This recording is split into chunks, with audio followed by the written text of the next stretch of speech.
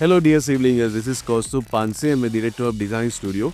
We are very happy to launch this series this Diwali called as 1% Digital Engineers.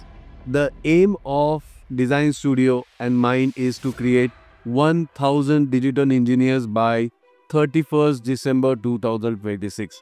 So for this mission, we are going to coach you, we are going to mentor you on various civil engineering softwares, but it will be in bits. It will be as a part of micro skills. So kindly register for the first workshop uh, of this uh, 1% digital engineer. Uh, here I will be taking uh, teaching you uh, space planning with the help of Revit architecture.